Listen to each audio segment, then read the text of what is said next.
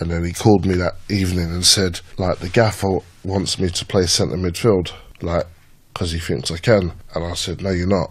I said, you're not playing centre midfield.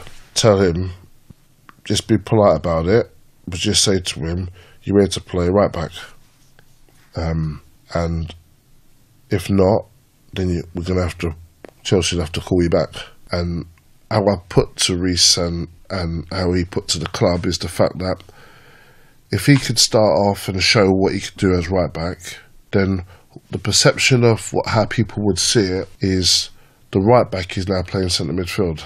So when he goes into centre midfield and he gets the ball and he pops it around, they're not looking at him as a centre midfielder. They're looking at him as the right back doing it because no other right back in the country, yeah, is doing it. No. Mm. Not just not look at him as a footballer. Yeah. Footballers should play anywhere Yeah.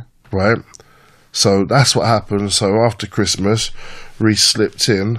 We're at Sheffield United, and he slipped in like halfway through the game into centre midfield.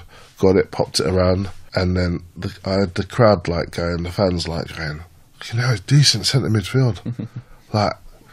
And then the next game, they're like, you know, like I like him in centre midfield. Like, and everyone was saying, no, right back. But to be fair, he's not bad centre midfield.